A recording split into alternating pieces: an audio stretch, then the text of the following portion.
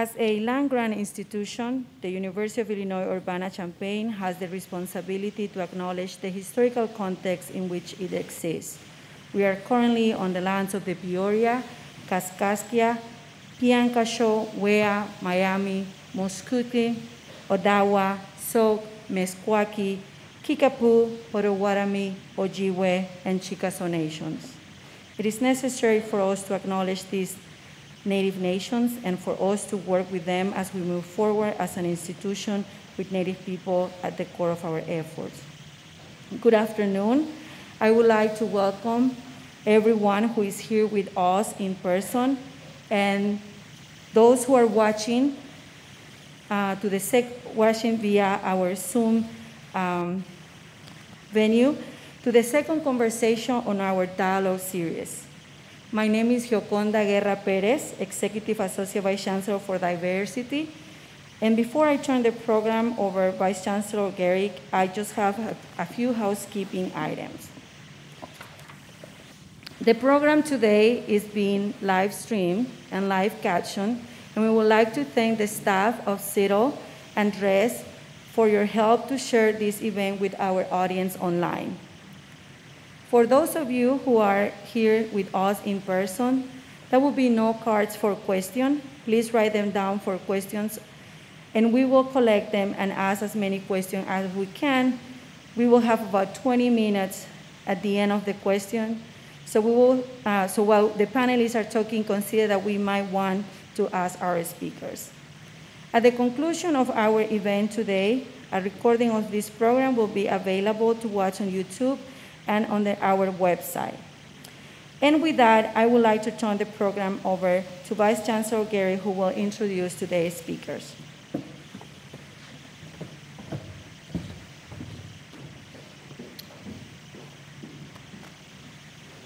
Thank you, Gio. Um, good evening, everyone, or good afternoon.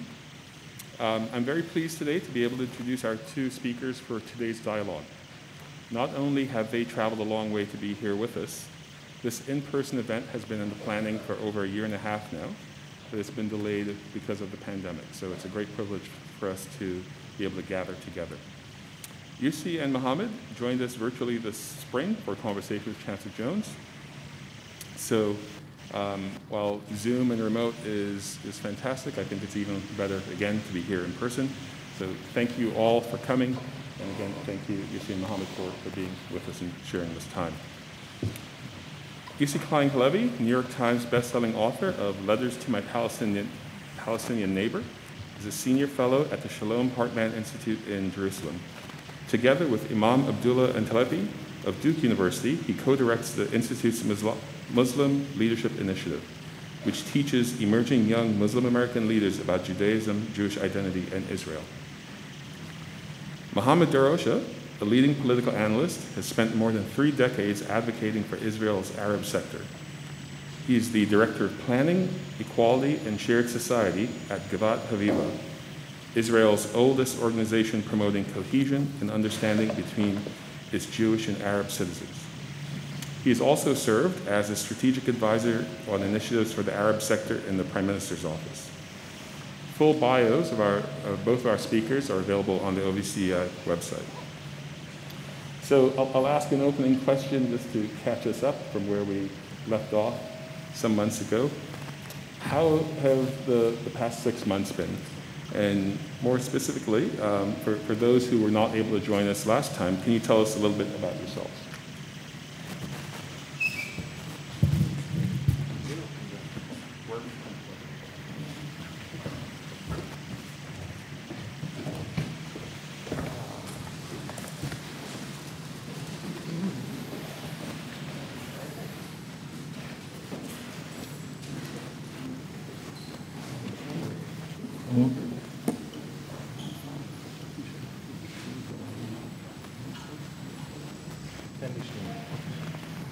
Uh, thank you for the question. Now, some people think that dialogue is for the sake of dialogue. I don't believe in dialogue for the sake of dialogue. I think that dialogue is a tool and a mechanism to try to narrow the gaps and specifically so that for every side can try to fulfill their interests into the process of dialogue. Dialogue is a mechanism. Many think, unfortunately, that it is a goal. I do not think that dialogue is a goal by itself. Uh, at the end of the day, there are four things that we try to aspire for in dialogue. The first thing is the humanization aspect. When you engage with, the, with another person or a group in a process of dialogue, you do uh, humanize the other. And without being able to give a human identity and nature to the other, your dialogue will be simply uh, with either the walls or you can do it with yourself. Some prefer to do dialogue with themselves or people that think like them, not people that think other than them. I prefer that the dialogue process is with people that do not agree with me because I have another goal, not just the humanization aspect. My second goal is to try to also debate with them, to try to engage in a narrative debate, uh, to try to prove my point, to, to prove that maybe even I have more just cause than their cause. Uh, dialogue is not surrendering your will and it's not giving up your will. Dialogue is a way, as I said, to also engage in presenting your identity and your narrative and make your perspective clear and, and uh, obvious. The third uh, aspect of dialogue is trying to find mutual interests.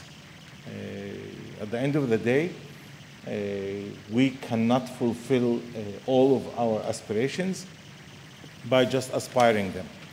We need partners with whom we can fulfill those aspirations. We need partners with whom we can try to identify where our needs actually meet and where can we create possibly interdependency. Dialogue is, and, that's my final point in this introduction, introductory stage, is also a way to change reality and I'm sorry for those guys that uh, walked out because I think they're missing out exactly what I'm going to say right now. I'm not engaging with dialogue with my Israeli Jewish counterparts in order to buy time which serves them. So clearly, time is on their benefit right now. The Israeli Jewish population is benefiting from the existing deadlock in Israeli Palestinian negotiations. They're, they're changing reality on the ground. My goal from dialogue is to try to change that reality, to try to stop the deadlock, the negotiations deadlock, and try to open some new directions uh, uh for, for possibility to change reality. It's not to preserve reality. When you turn your back and walk out, you actually are trying to preserve reality. You contribute to preserving reality, and you're not doing anything other than maybe just staging a statement, which is legitimate. You know, it's legitimate to stage a statement. But when you do that, you're actually missing the opportunity of changing something on the ground. When I uh, engage in dialogue, not just with Yossi, but also with heads of major institutions in Israeli society, I often hold a mirror in front of them. I often show them where discrimination is. And it's not nice dialogue. Dialogue is not something nice. Dialogue is very often something difficult where if you want to be true to yourself and honest to yourself, you need often to show you perspective of how you read reality and to show someone their ugly face and how they are hurting you and how they're making life difficult for you and how they're abusing you and how they're unjust towards you. It's not an easy.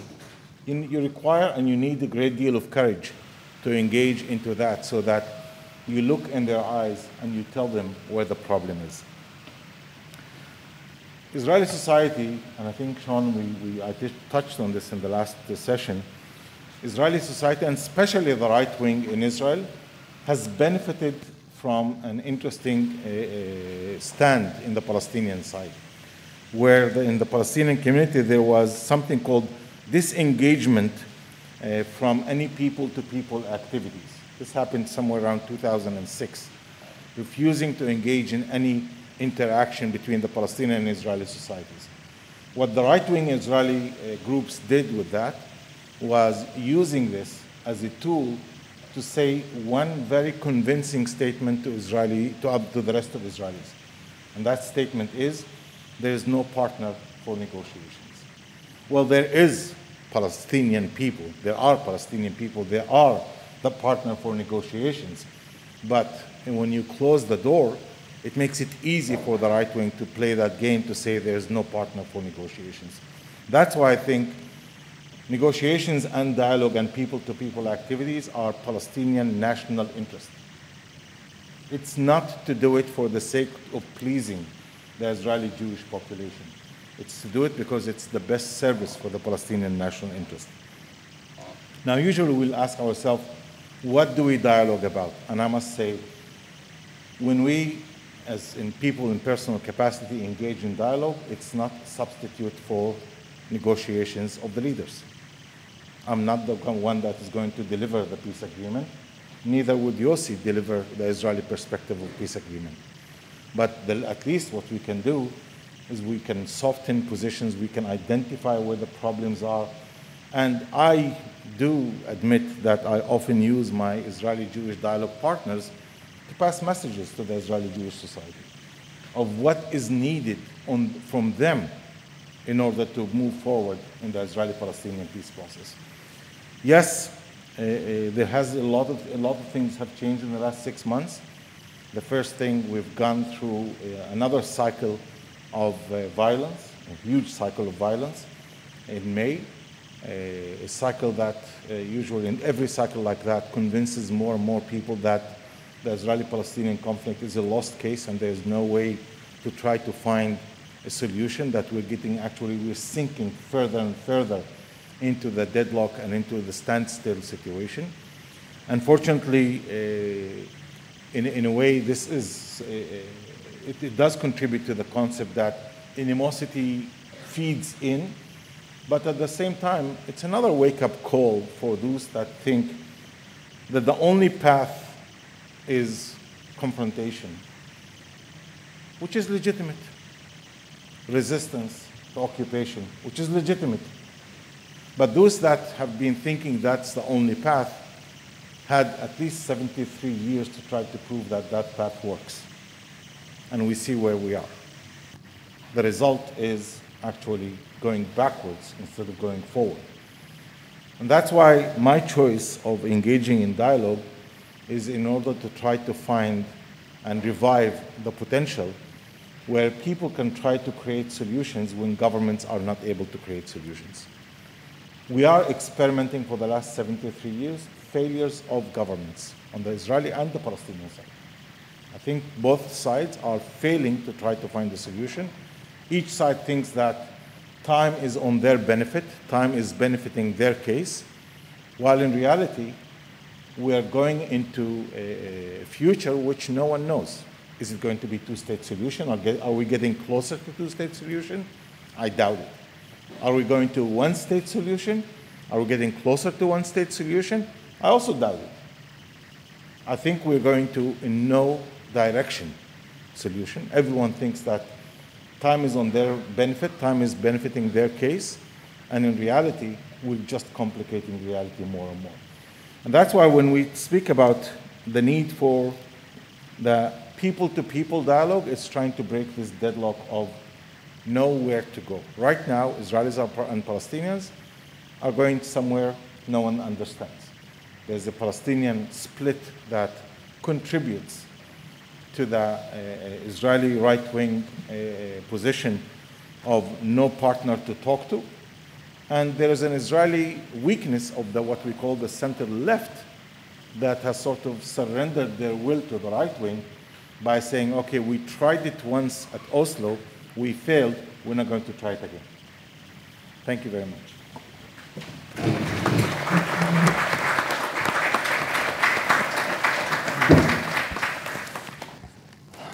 Good afternoon, everyone. Mohammed, I'm honored to be your dialogue partner, and I'm honored to disagree with you as well.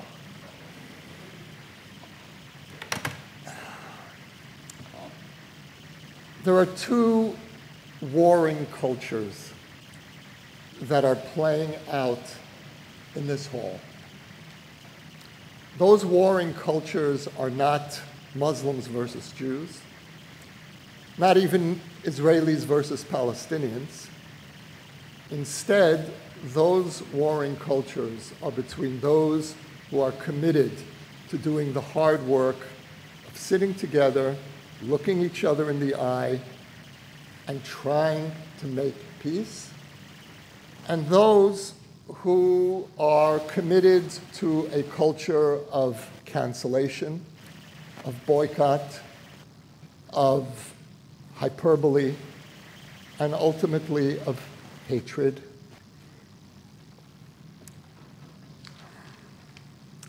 Muhammad and I have many difficult issues to unpack.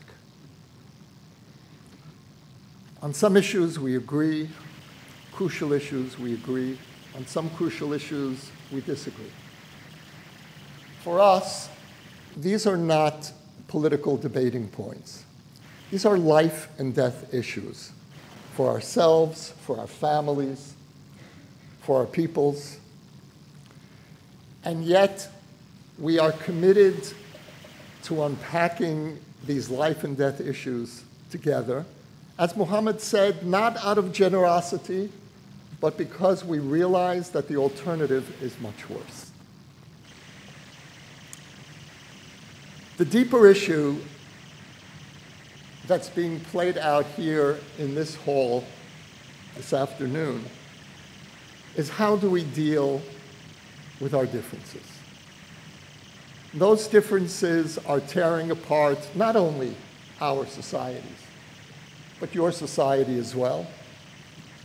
Humanity is on the brink of major catastrophe in multiple areas. And yet, rather than drawing us together, we find ourselves being pulled even further apart. Three years ago, I wrote a book called Letters to My Palestinian Neighbor, which was an attempt to reach across this abyss. In the book, which is a series of letters to at the time an anonymous Palestinian neighbor, was an attempt to explain who the Jewish people are, why we returned home after 2,000 years to a home that we share with the Palestinian people, why we believe that this is our home as well. But it was an attempt not only to explain, but also to listen. The book was an invitation to my Palestinian neighbors to respond, and hundreds did respond. The book was translated into Arabic, placed for free downloading online, and hundreds wrote responses and thousands downloaded the book. In a subsequent edition, the paperback edition of the book that came out about two years ago, I included about 50 pages of those letters as an epilogue. Letters from Palestinians to their Israeli neighbor. Many of those letters were difficult for me as an Israeli to read. Many of those letters challenged some of my most cherished assumptions about my Jewish and Zionist identity.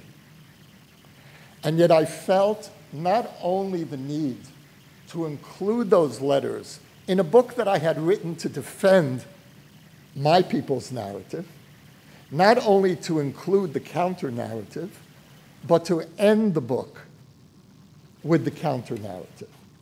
Now, in the current political climate, what we saw this afternoon is only an example. That's countercultural. You're not supposed to grant your political opponent space in your own book, let alone grant your political opponent the final word in your book. And yet I felt that if I were serious about trying to model a new kind of conversation, a conversation that would somehow manage to break through the walls, literal and, and metaphorical.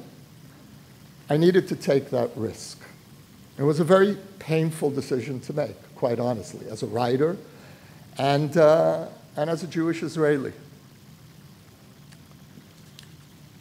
But what I've come to realize is that you can't cancel a people. You can't cancel the Palestinian people. You can't cancel the Israeli people. Both the Jews, and the Palestinians are indigenous to the same little tortured piece of land.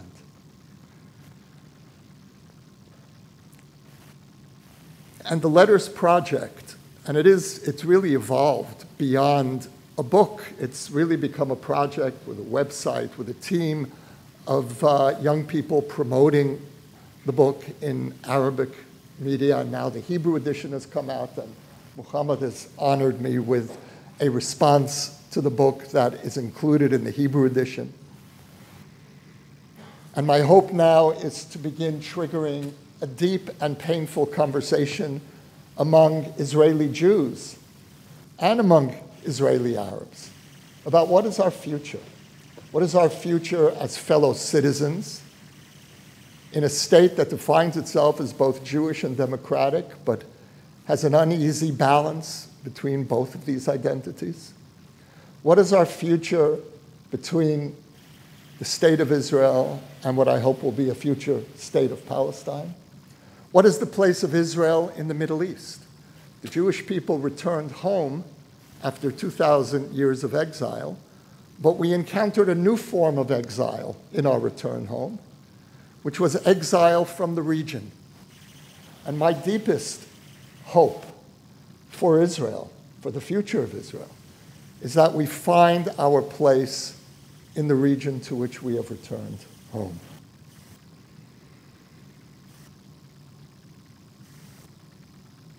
Final word about the walkout.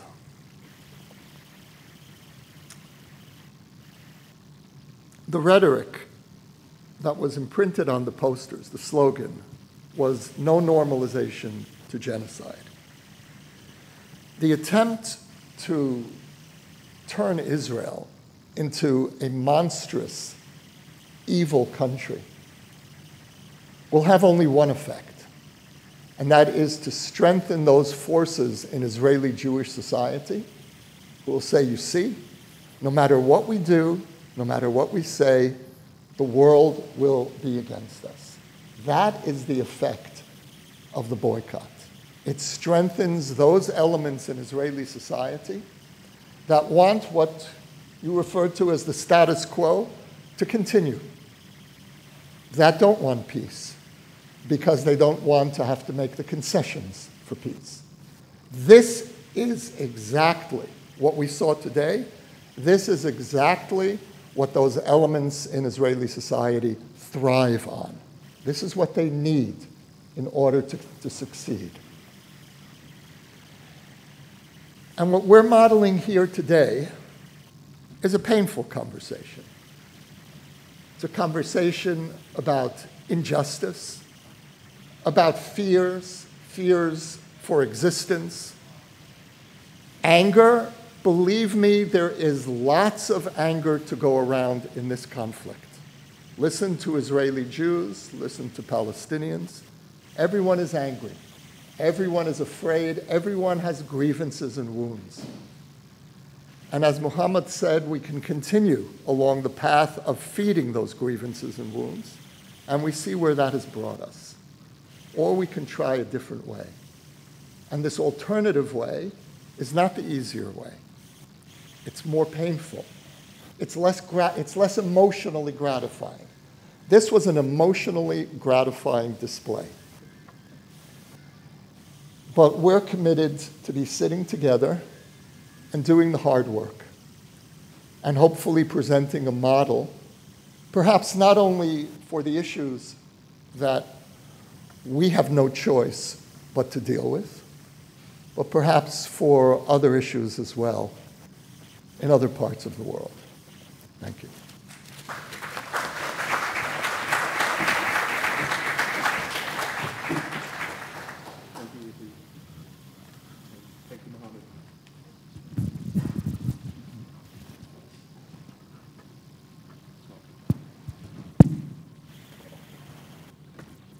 both.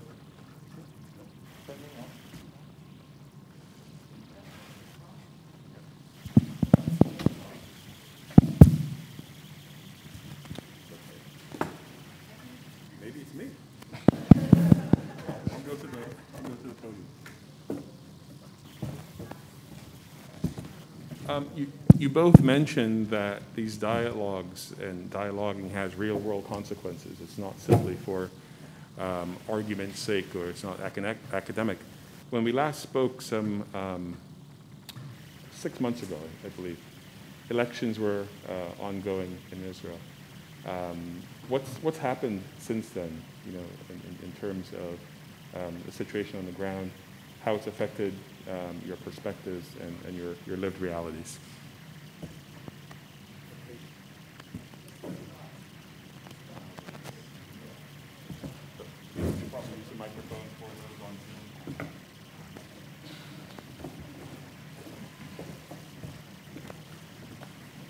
Well, Israel is a changing, uh, you know, it's like walking on sand. It keeps changing politically very, very quickly. And the change that we had in the last elections, the change that we had in the last elections was very, very significant this time. For the first time, we were able to get rid of the prime minister that was the master of the deadlock. I think Benjamin Netanyahu was benefiting from freezing any political action on the Palestinian front. Uh, that's from one end. From the other end, he was also changing reality on the ground by trying to speed the process of expanding settlements that can prevent the chance of the creation of a future Palestinian state. Very strategic settlements that would cut the possibility of any sequence in territory between, uh, between parts of the West Bank. At the same time, it was also uh, the uh, feeding the Palestinian split between the Palestinian Authority uh, and Hamas in Gaza, uh, trying to highlight that and try to feed it as much as possible, sometimes by providing help and support for the Palestinian leadership in Hamas, with the $15 million a month money coming from Qatar, and so on. So I think that Netanyahu's policy was, as I said, from one end, deadlock in the negotiations table, on the other end, weakening the Palestinian unified position by uh, allowing the creation of two separate positions, and this way he can come back and ask the question, well, who should we negotiate with? So the fact that he's out is already something good, because the master of that theory is not in power anymore. Is the substitute better? That's a good question now. Because we know that this government is not a cohesive government. This is, a, this is some kind of an anti Netanyahu government and pretty much not pro anything else. So when you, when you talk about the Israeli Palestinian front, they do not have a unified perspective. Almost one third of the government is even more right wing than Netanyahu himself, and two thirds are more left wing of Netanyahu which again brings us to the deadlock by saying this government is not going to go anywhere in the direction of negotiations. But we also know that it's not going to go anywhere in trying to feed the split in the Palestinian side or trying to have steps that try to deepen the possibility that we could uh, get more and more distant from negotiations. We also know that the buildup of this government is that the first prime minister, which will rotate in a few months, is the leader of the more radical right wing party. So, in his shift, do not expect much more than possibly, uh, I would say, two things. It's a one, and one thing is improving humanitarian conditions of the Palestinians. I think that will happen because there's one expectation that. Uh, the, the two thirds of the government, the center left part of the government, will want to move in that direction. But second, we also had a big change a couple of months before that, and that was the change in American administration, uh, which does have some kind of expectations, maybe not requests yet, but some expectations that the US government will move into that direction. I, want, if you allow me, Sean, before I, I go back to my seat, to uh, uh, respond to some of the things that uh, uh, Yossi said. So, as Yossi said uh, about me, that maybe he agrees with a lot of things and disagrees with most of things, I also disagree with most of things. So, it's not a dialogue of uh, uh, where you know we agree on the process we don't always agree on, uh, on what brought us to here or what are the narrative aspects. We clearly disagree, for example, about what happened in 1948, who started the conflict. We disagree today about whose state is it. Is it the state of the Jews or is it the state of all of its citizens? Is democracy above Judaism of the state? I mean, Israel says it's Jewish and democratic. So is democracy higher value than Judaism, or Judaism is a higher value than democracy? We, do, we have clear disagreements on, on to those uh, type of issues. But being a father of four kids, all of them are students at university, my concern is not about proving my point. I can easily spend two hours here, prove that everything that Yossi brings from his narrative is wrong. I can do that. Believe me, I have the intellectual capacity to argue with 10 Yossis. But the question is, what would I have, have uh, what would I have accomplished with that? Other than proving him wrong. We need to try to find ways that bridge the gaps. I, I, I you know, I had the discussion not with Yossi, with another, with another Yossi. His name is not Yossi, but another person about a very recent event, which was just this past September. In September, six Palestinian prisoners broke out of prison. Most Israelis relate to them as terrorists. Most Palestinians relate to them as political prisoners. Now, regardless of what they did, but that's the massive majority of perspectives regarding those six people. They happened to escape and be around my town, my village.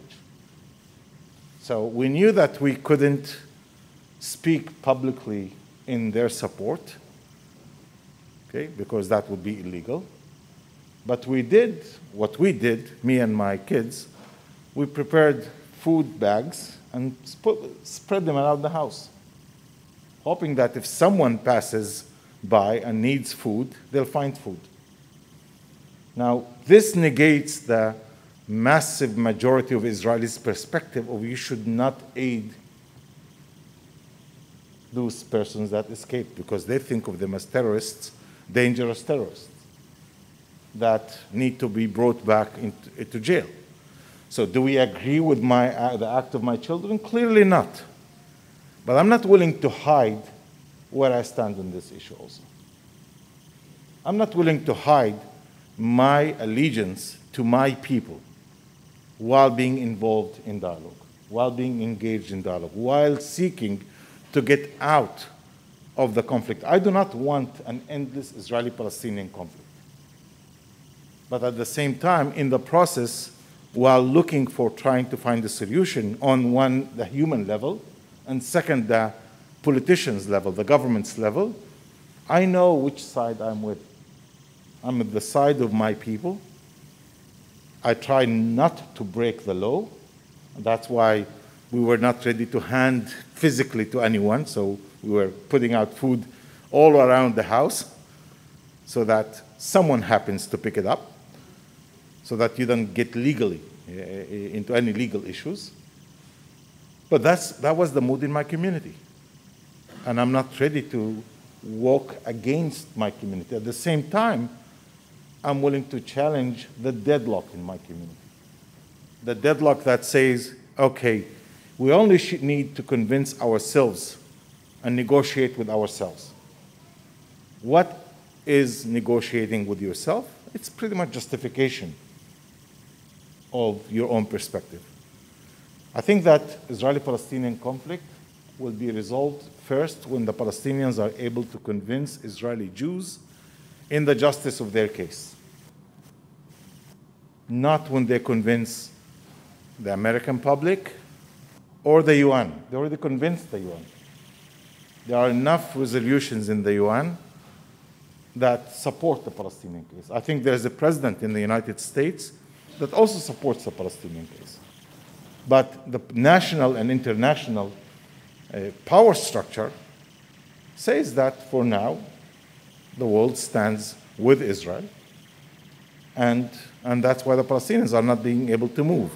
So the, the Palestinians need to change their audience. They need to influence square one. Influencing square one is influencing Israeli society. So, one, how do you influence it? One is stop scaring them. If you're scaring them, they're, going to, they're not going to listen. So, this, the events of May uh, have done, in my view, this service to the Palestinians because they do contribute. They act, they, they, they, they serve as a scare tactic against Israelis. When you scare Israelis, they withdraw and try to say and support the notion what cannot be resolved with force will be resolved with, with more force. If you can't do it with uh, uh, one air raid on Gaza, you can do it with three air raids in Gaza. That's what comes out of those kind of uh, rounds of, of conflict.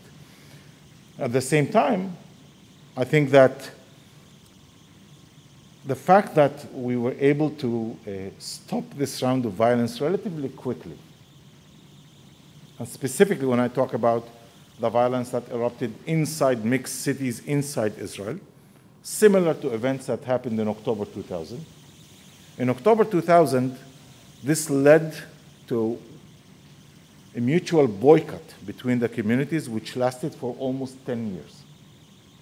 It's a book that was written in 2010 that uh, basically its title was uh, The Lost Decade in Jewish Arab Relations in Israel.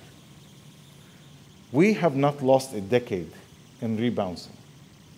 We rebounced, thank, thankfully, mainly to the business community in Israel, which basically said we're not going to tolerate a mutual boycott.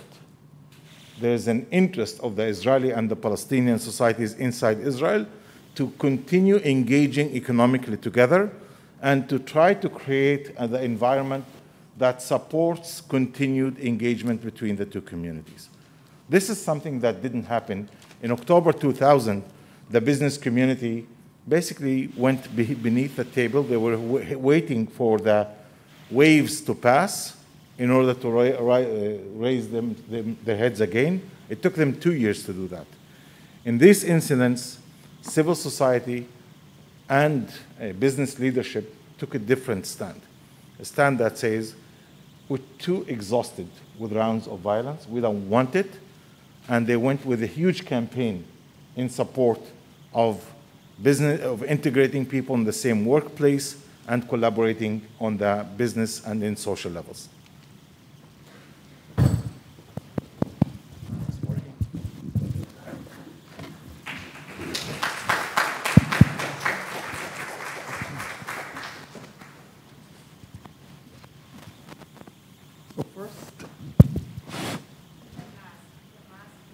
Ah, okay, can you hear me?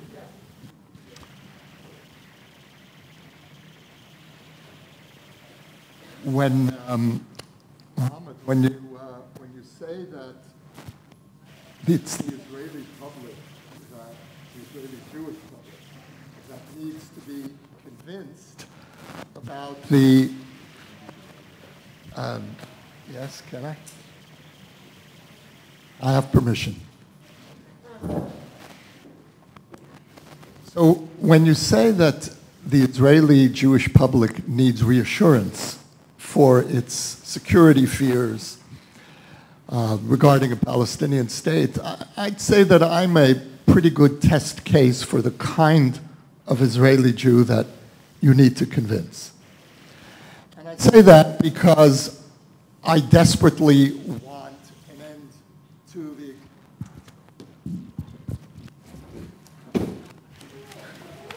I say that because I desperately want an end to the occupation. I think the occupation is a disaster for me. Never mind for a moment the Palestinians. This is a disaster for, for the state of Israel.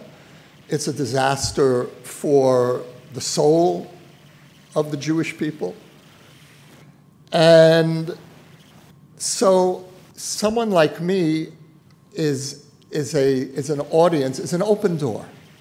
I want to be convinced.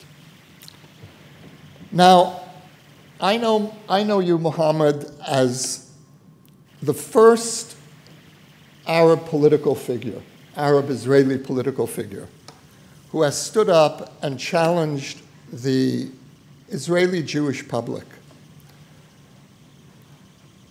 in the following way. We, the Arab Israeli community, the Palestinian Israeli community, need to accept reality, and here I'm paraphrasing you, need to accept reality and accept the fact that Israel is a Jewish majority, and, the Jewish, and a majority has certain rights.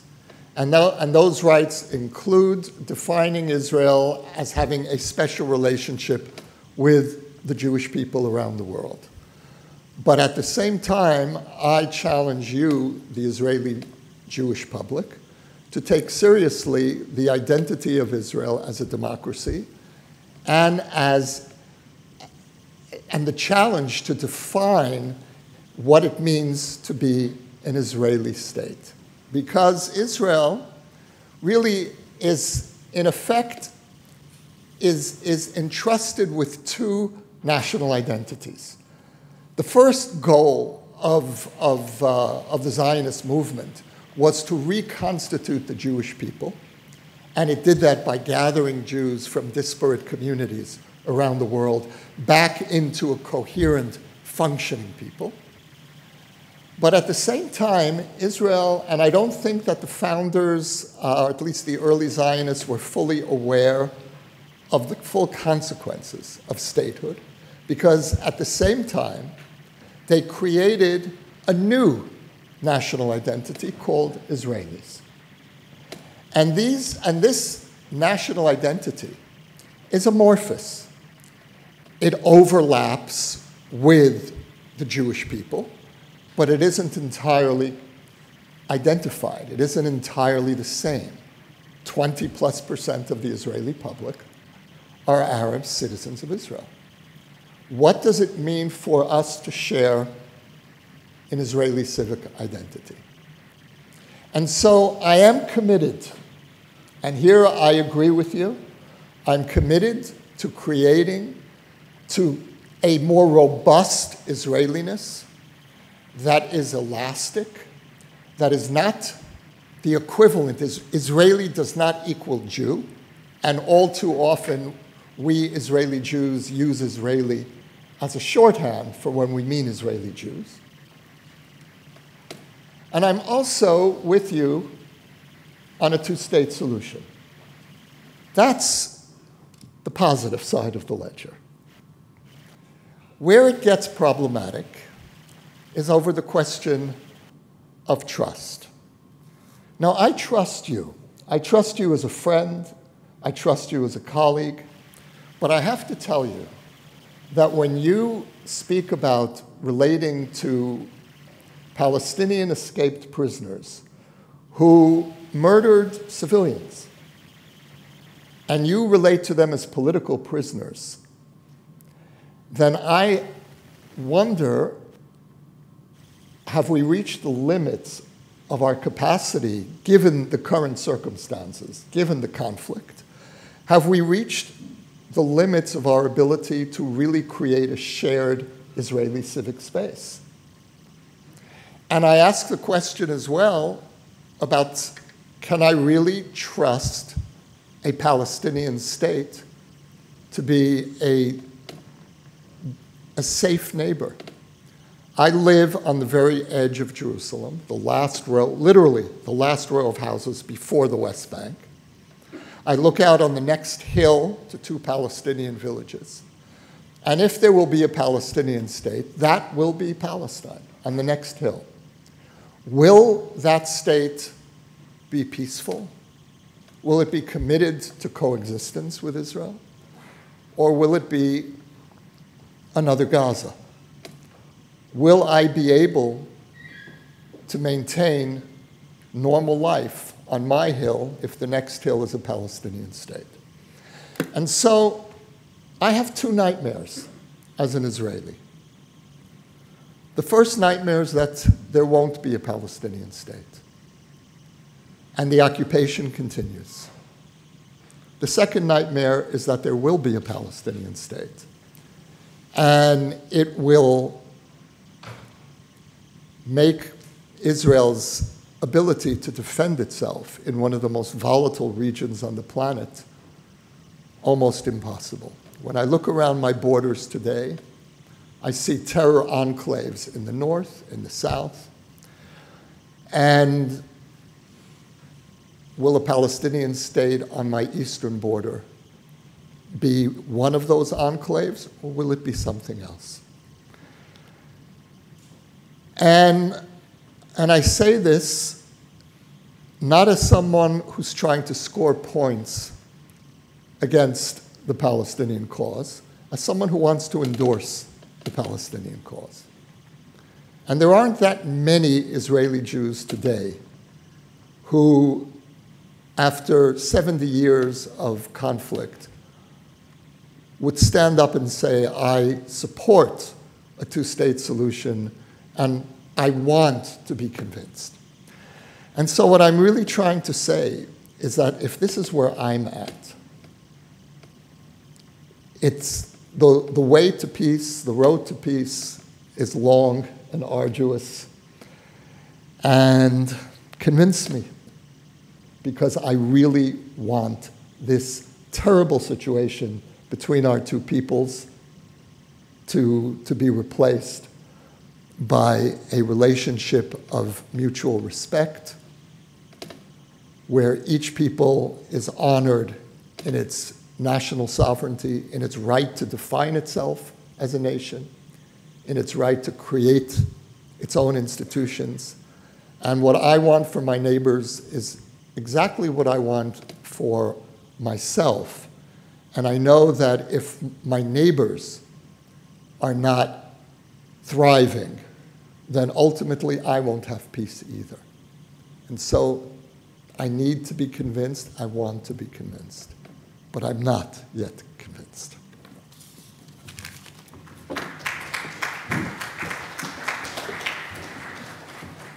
I think the example of the six escapees is a, is a great point to focus this a bit more. Um, how do you advocate for your own values, your own the issues that matter to you and your beliefs while building trust and, and, and faith in the process with one another?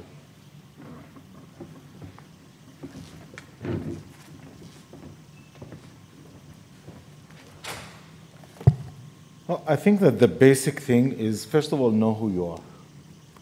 If you're true to your own self, your own community, you know, you know the who, who sends you to do the work. Who sends me to do the work? It's my values. It's my morals. I do not endorse violence in any means. I do not support violence in any means. I do not think it's efficient also. How many thousands of people have been killed in the name of the conflict? Many have been killed in the name of the conflict. So when I look at it in a realistic perspective, I think it's naive, and I think I mentioned this already, it's naive to think another cycle of killing will solve the problem. So I'm not, I'm not necessarily a peace activist or what's called a peacenik. I, I don't think that you need to come with those kind of high values in order to promote peace between Palestinians and Israelis. I think before the values, you need to think about the practicality. The shortest practical to solu- solution to the Israeli Palestinian conflict is not another round that will have another 100 or 1,000 people killed in it. That's not going to get us closer to a solution. We've tried it. So many have tried it. there are about 12,000 prisoners, Palestinians, prisoners in Israeli jails. Many of them were part of trying that. There are many Israeli generals that got their uh, status out of being part of the war machine against the Palestinians also, and the Palestinians being part of the war machine against Israelis. So we created even leaders in the name of war machines. Some of them were called terrorists at some time, like Prime Minister Shamir, who was a terrorist and wanted person, and became a prime minister afterwards, and was excused from his terrorist acts because he became a political leader. So we did not, I did not invent Yossi, the art of calling a person a political prisoner or political leader while having maybe blood on their hand. It's not my creation. It's creation also within the Jewish people. So do not blame me of seeing someone that fights for their freedom as someone that is a political prisoner. They're not fighting because they're criminals. They do not have blood on their hand for criminals. So maybe you and I disagree on their path or their way. But that does not mean that we doom them as complete unhuman figures that do not deserve respect, at least for their political cause. They probably would not have fought against Israelis if there was no occupation. They would not have fought against Jews if there was no occupation. They did not choose to fight against Israel. They did not choose to have Israel come and occupy their land. So, from one end, I do support the notion of dialogue, dialogue, dialogue, non-violent approach, and, and, and effort to try to find a solution. But in no means do I support nice occupation.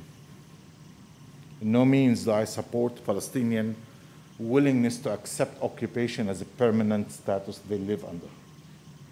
They have the right to resist occupation. Maybe I don't agree the, with the means, but they have the legitimate right. If, if it would be a non-violent resistance, that will comfort me even more. I think that will buy them more Israeli Jewish ears that will be more easy for Israeli Jews and people around the world to sympathize and empathize with them.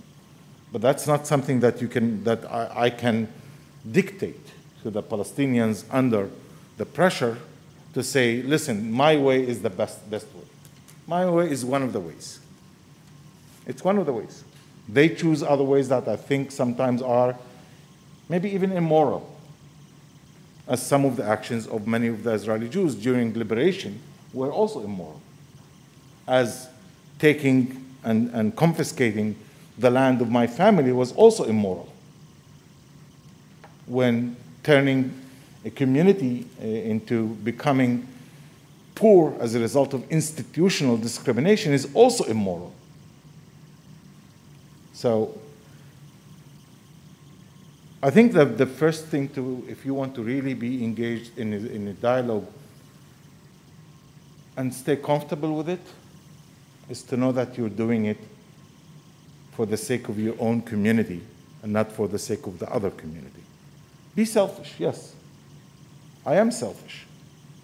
I am engaging into this out of the interest of my own community because I think it has, there's a better chance for the Palestinians to develop a future and destiny together with the Jewish people and not against the Jewish people.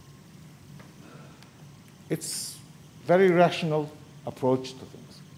At the same time, I do have the moral values that say no to violence and so on, but is that the only motivation? No, that's one of the motivations. So I would, my answer is that it's a dual response. One is interest-based and one is value-based.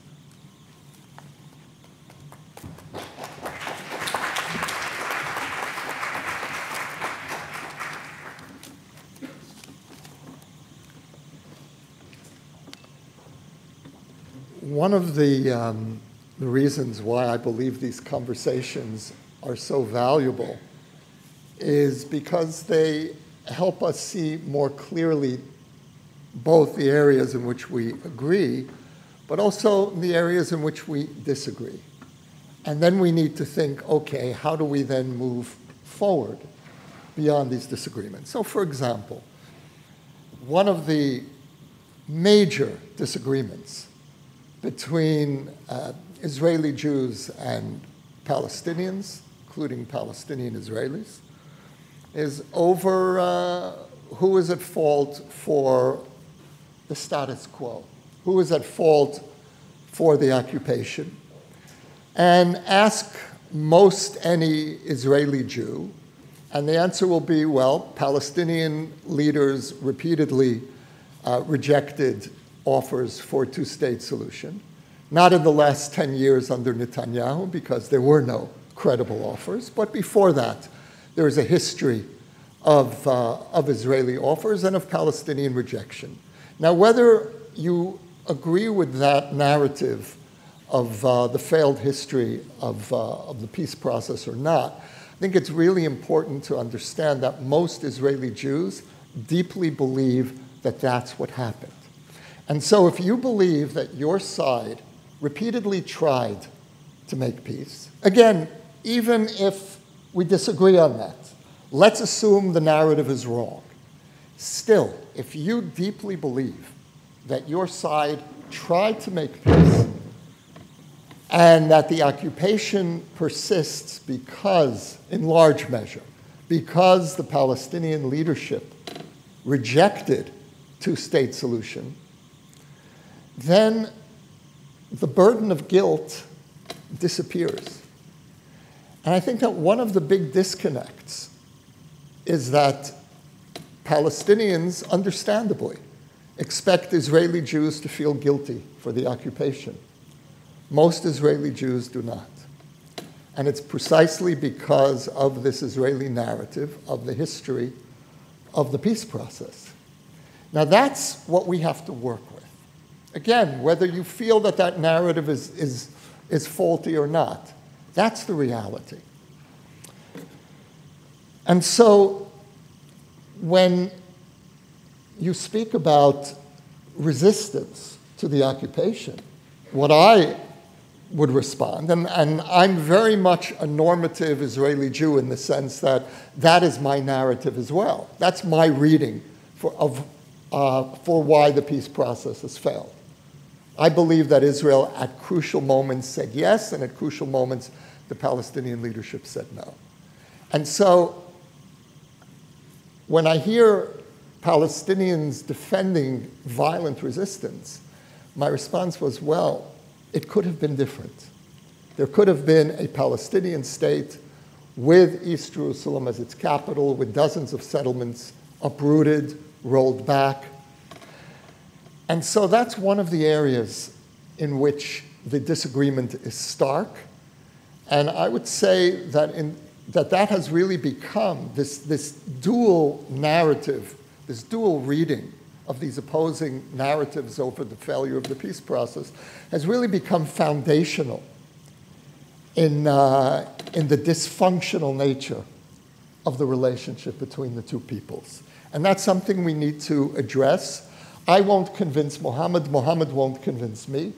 We've tried over the years.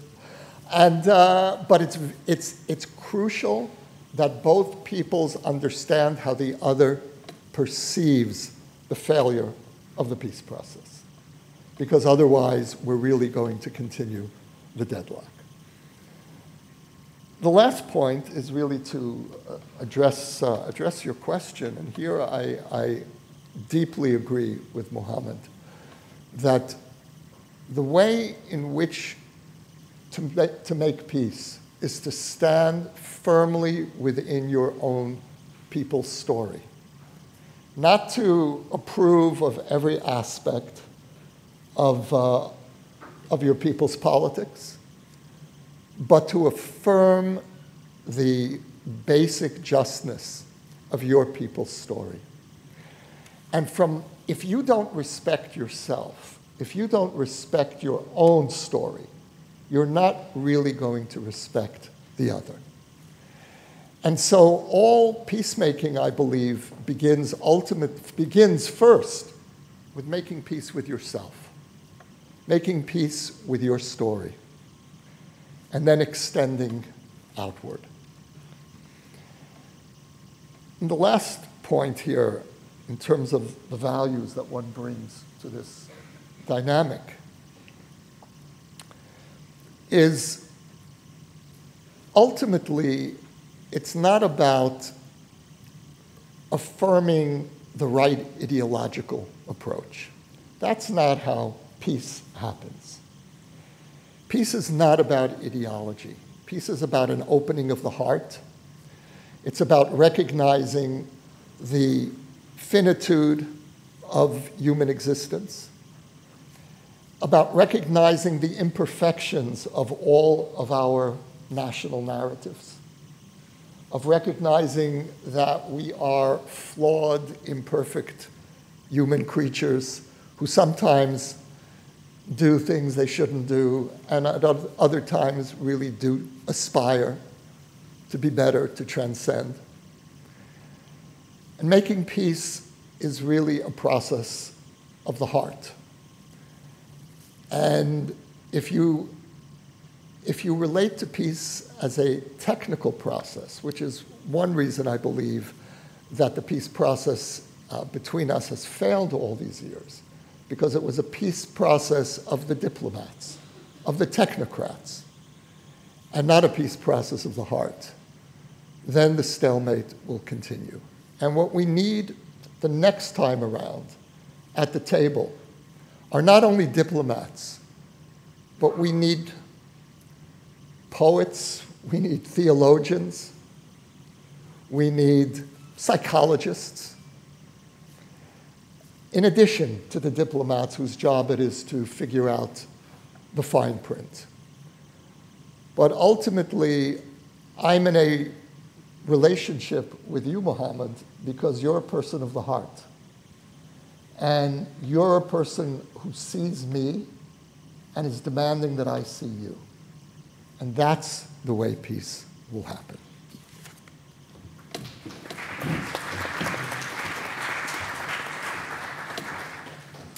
Before we get to the questions from the audience, um, one, one question speaking, going to your point, uh, Yossi, um, what, what have you personally learned of and from each other during this journey?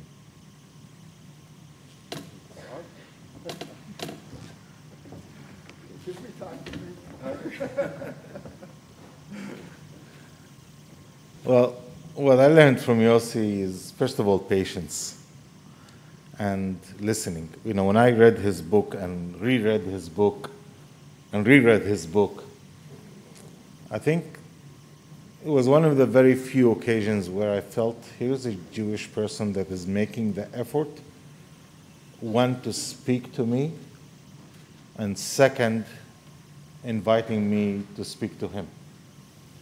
And I think this is very daring from one end, and very generous from the other end.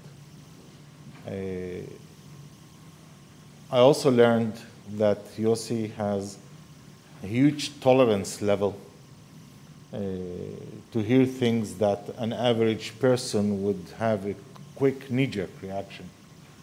And uh, that uh, the best way to continue engaging in dialogue is by being able to absorb things that you do not have to respond to. So often you hear things and you don't have to respond to things.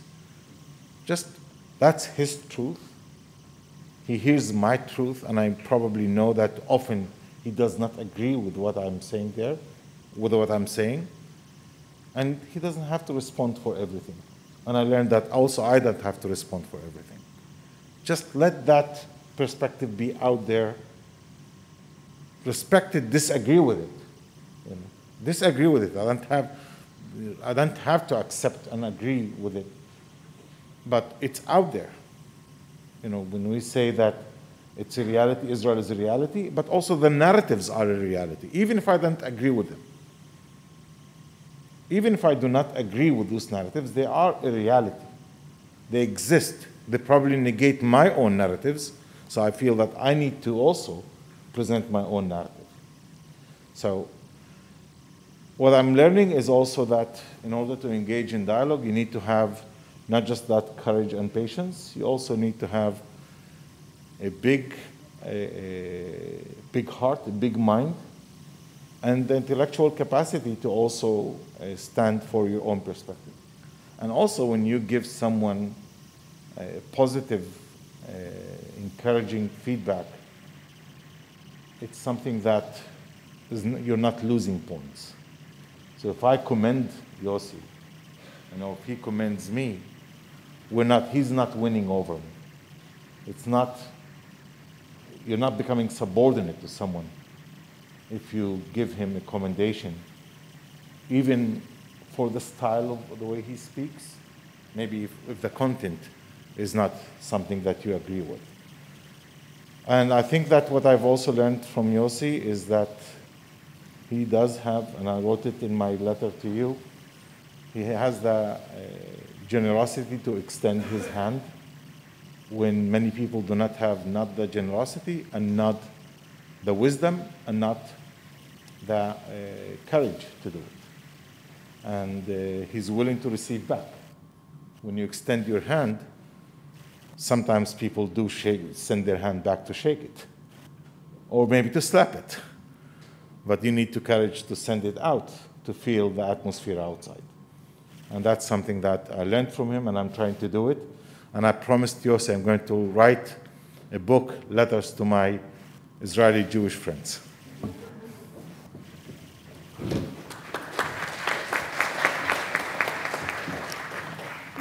And you, and you actually may do it here on campus. what I learned most of all from Mohammad is dignity. The way in which he bears his pain, his, his deep wounds, with a profound, quiet, and determined dignity. The ability to express his pain, his anger, his hurt, and at the same time, not leave the table. I'm sure there are times you're tempted to. And never to leave. And he's been doing this for year after year. And there's no one that I know in Israeli society who's more effective in bringing Arab citizens into the mainstream than Mohammad.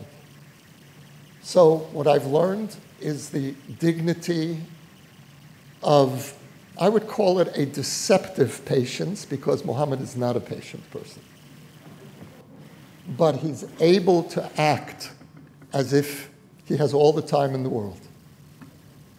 And that combined with his goodwill with the fact that he's willing to stand up here with an Israeli Jew and subject himself to what we saw today. And, you know, for me, that walkout was not as painful, I would imagine, as it was for you. There's a war going on, there's a conflict. What can I say? I'm used to it. Uh, when, it's, when you're attacked by your own people, that's more painful. And Mohammad is willing to put himself in situations of acute discomfort for the sake of advancing his people's agenda, his people's needs, and ultimately for the sake of all the peoples in this conflict. Because I believe that Mohammad, as deeply rooted and committed as he is in his story and in his people, is not confined to that commitment. And he challenges me as someone as well who is deeply rooted in my own people's story, my own people's needs, fears, not to stay there but to constantly place myself in vulnerable situations. And that really is something that I've learned from you.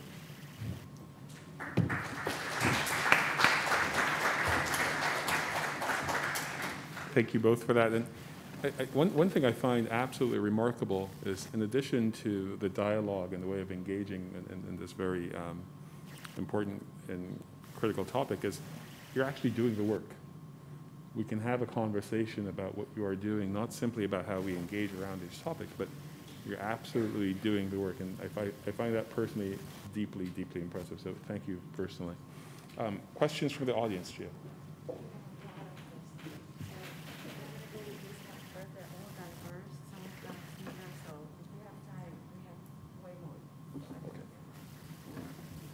So Gia just said there's lots of questions if you didn't hear that. For both of you, if there's no two-state solution and there's no one-state solution, is there any kind of path? Dialogue is fabulous, but can you envision an equitable Palestinian-Israeli coexistence?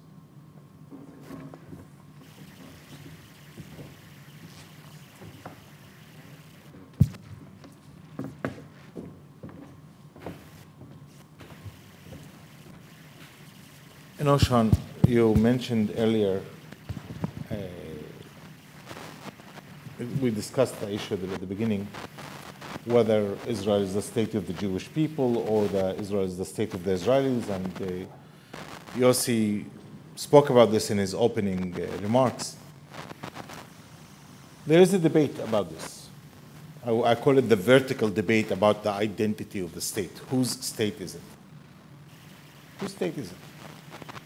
If we put that debate, that vertical debate, on the shelf for a moment, you know, we're not deleting it because it stays and probably will accompany us for many, many generations uh, ahead. I'm not that hopeful that the Israeli-Palestinian conflict will be resolved that quickly.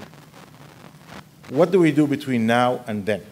And then could be five years, 10 years, 20, maybe 100 years. I do not know. I'm not a prophet. It's another Muhammad who is a prophet what do we do between now and then? And it's not just us as individuals, but what is Israeli society and Palestinian society doing? And that's what I call the horizontal arena.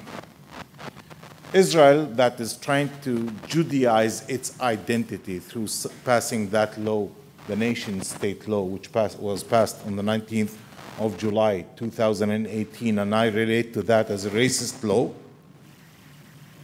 is actually becoming less Jewish, more Israeli. On the ground, the process of Israelization Israel is faster than the process which is led by the political leadership which is trying to Judaize Israel. Now, where do you see it? If you go to the medical arena, you go to hospitals, because the Israeli governments have sort of slowed the integration of Arab citizens in civil service in banking, finance, in academia or so, people sought alternative routes of education. People started sending their kids to study mostly high level, high end type of topics, mostly in the medical arena, and ended up flooding the Israeli market with doctors, nurses, pharmacists, and uh, uh, dentists. The Arab Palestinian minority in Israel is about 21% of the population, but is, but is almost one third of the medical staff. Now that's a revolution we created. Now, Israeli Jews that go to seek medical attention or treatment, they are going to meet Arab medical providers. And that changes their perspective of what an Arab is someone that could be a caretaker for them. It's happening in the high-tech industry.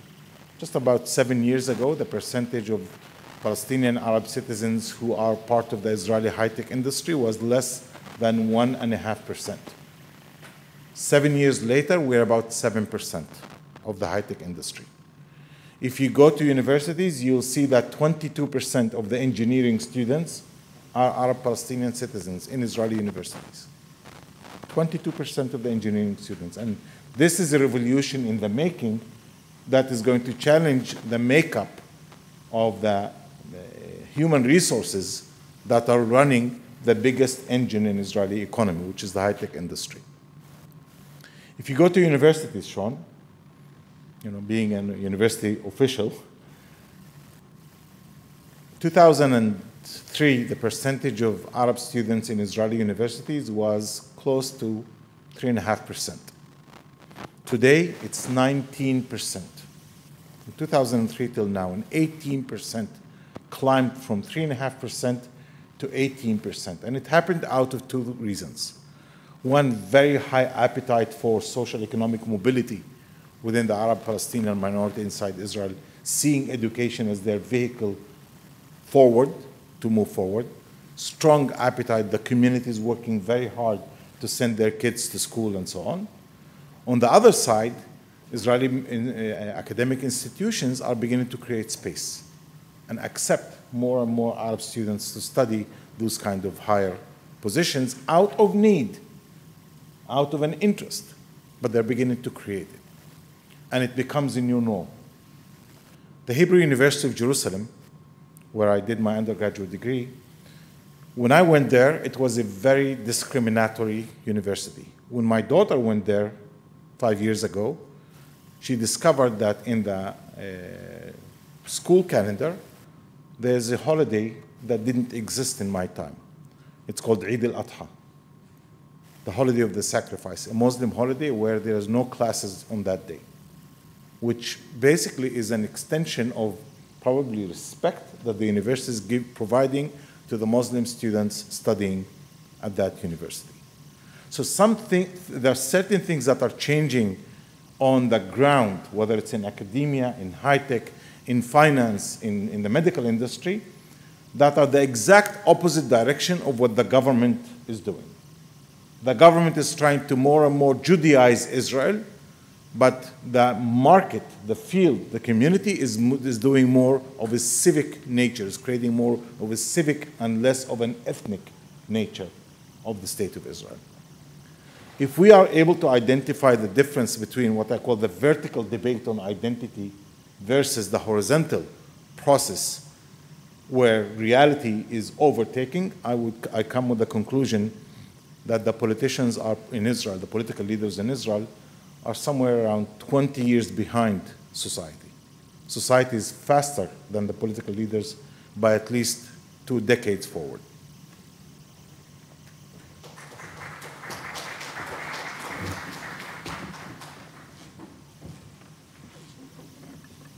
Another question. What do you do when you worry that you may have reached the limits of dialogue?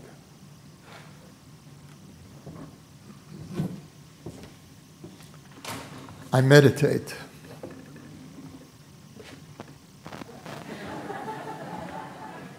I second that. Hmm?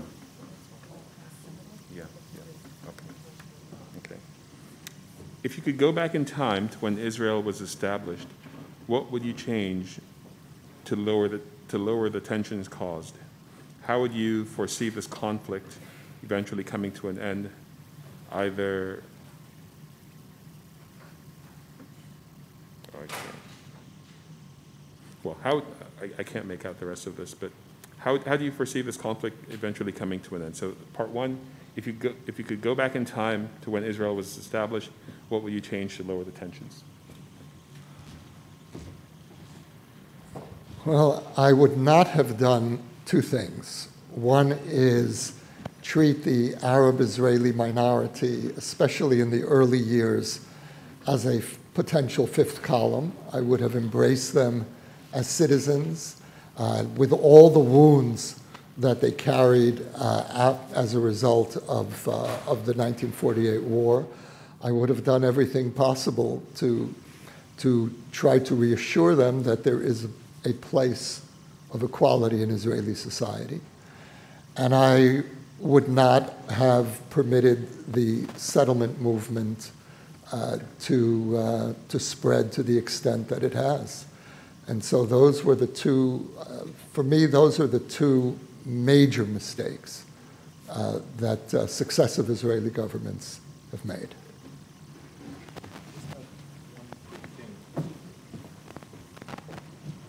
I think, I think Israel's biggest mistake in 1948 was not announcing borders.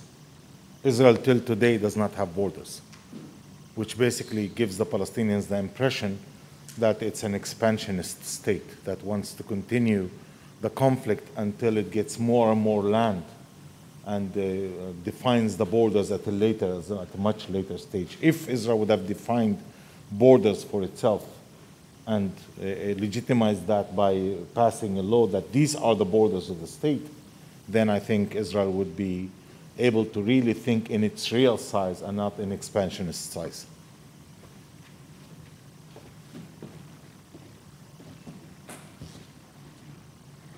Another question says, hasn't the problem transcended Israeli Jews and Palestinians as long as Iran supplies Hezbollah north and Hamas south against Israel? Why can't Israeli Jews and Palestinians partner to fight those forces who support Hezbollah and Hamas? Well, the conflict certainly transcends the uh, Arab Israeli dimension.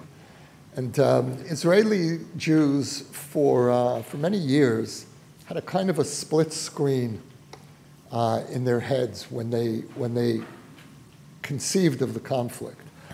On one side of the screen, it was Israel against the Palestinians. Israel was Goliath, the Palestinians were David. On the other side of the screen, it was Israel against the region. And there, the balance of power was a lot, uh, a lot more uh, uh, open to question. And so the, the, the ways in which, in which uh, the Israeli public relate to this conflict really do transcend the Palestinian issue. Uh, one, what gives me hope in the last uh, year or so, and, and perhaps Mohammad, we disagree about this as well, uh, uh, is the proliferation of uh, peace agreements between Israel and Arab countries. And this gives me hope not only for Israel finding its place in the region and for lessening uh, the Israeli Jewish sense of siege, which I see as, as crucial to, uh, to eventually convincing the Israeli Jewish majority to, uh, to go for a two state solution. But I think it also opens opportunities, not necessarily now, but in the long term, uh, for a regional solution to the Palestinian issue. I'm not sure that Israel, uh, the Israeli and uh, Palestinian leaders left to their own devices will ever be able to negotiate a deal. Uh, and uh, as we've seen in the past uh, during the Oslo process, especially, uh, the West uh, has very ultimately very limited ability to impose its vision of peace on the region. If there's going to be peace in the region, it needs to be generated by the region itself. And if Israel, if Israelis sense that they have Arab partners for an agreement, for a transformation of the region, then I think many more Israeli Jews can be convinced to consider or to once again consider a two state solution. Because we did have in, in the late 90s, there was the beginnings of a, of a majority uh, of Israelis who, Israeli Jews who supported a two state solution, and then the second intifada of the early 2000s essentially erased that majority. So, in order to reconstitute a majority of, his, of Israeli Jews in support of a two state solution, there needs to be a sense that Israel will have Arab partners for a regional agreement. And in the end, I believe, uh, and this goes back to the question about a two state solution, uh, I believe that, that ultimately uh, creating a two state solution will depend on, on the transformation uh, of the region.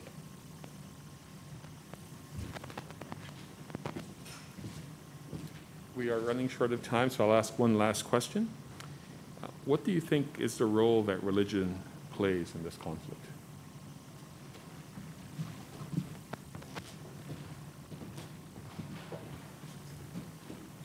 Well, for the Jewish part, religion is part of the identity of the Jewish people. You know, without uh, the religious Jewish religion, probably Jewish ethnicity would be lacking some significant component. Uh, there's, you know, the concept of, of Zionism is that Judaism is not just a religion, it's also an ethnicity. That's the concept of Zionism. So it's, it's a, at least in the Jewish side, is a very strong component that play, played role in nation building, but it's also now playing a role, in my, in my perspective, a very negative role, where ultra-religious nationalists are trying to capture Jewish national identity into a radical perspective bordering racism, if not even spell it out, often say presented as racism, where they think that the Jewish religious slash national identity is providing them some kind of superiority by God. And unfortunately, many Jewish nationalists today who are in power positions carry that perspective. I do not think that the majority of Israeli society. I do not think that they're the ones that carrying all, calling all the shots in Israeli society, but they definitely do have a significant impact on the uh, Israeli-Palestinian cross-border conflict.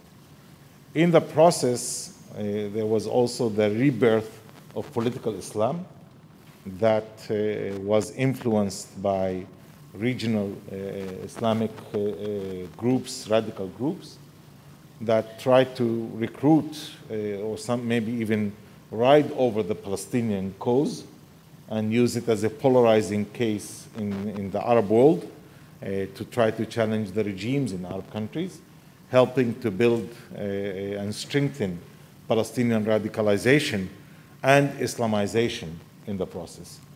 I think this is an attempt to steal the Palestinian cause from the Palestinians and give it a more uh, wider religious perspective. I'm not sure if this does best service to the Palestinians. I think the best service for, to the Palestinians is to be able to find a political solution to the, and a negotiated political solution with Israel about a two-state solution and not to uh, bring it to a level of uh, clash of civilizations or clash of religions between Judaism and Islam.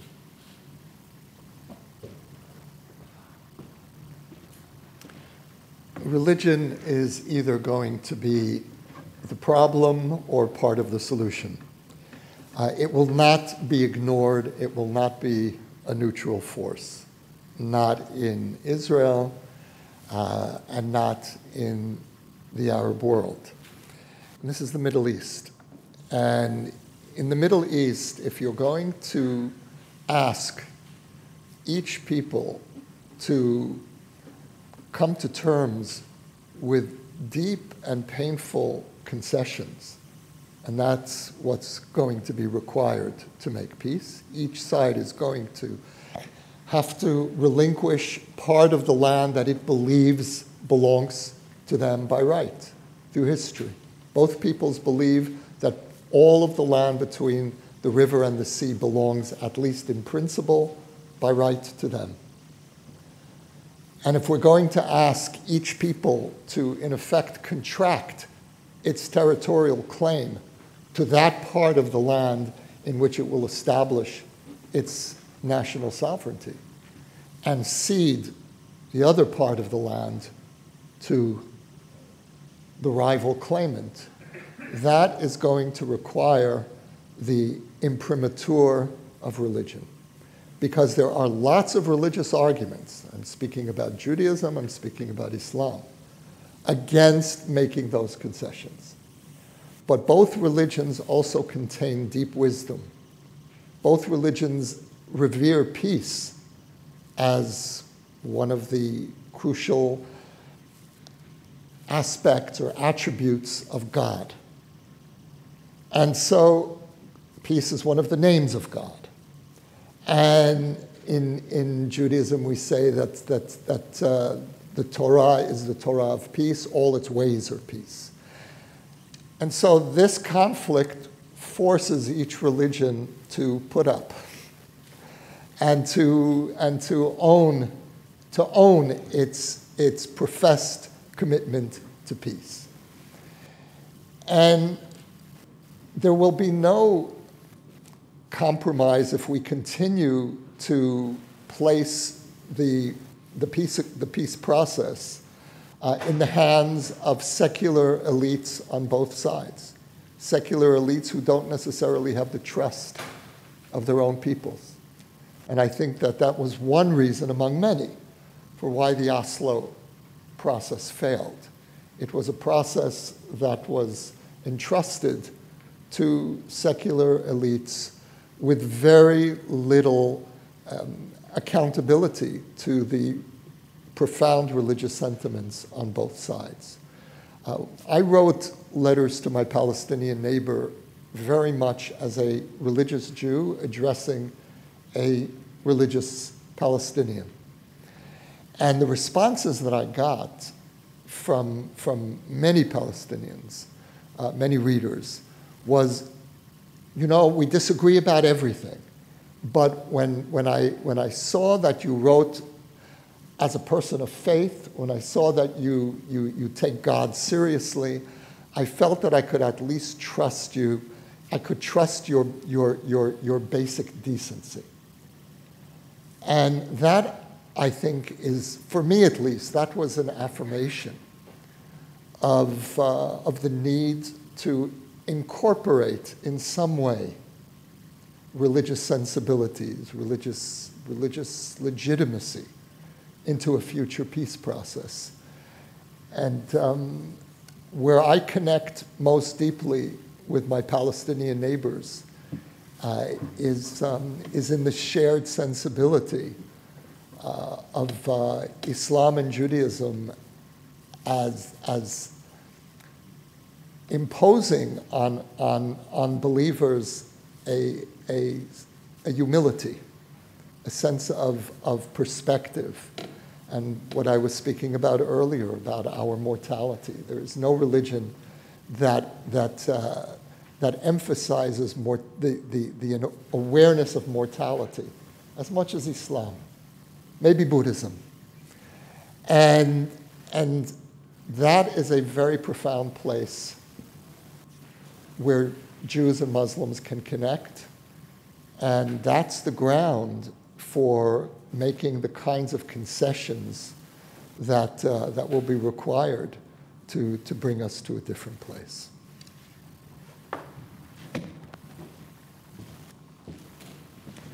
I'd like to thank you very much for this truly remarkable conversation. It's been absolutely fantastic.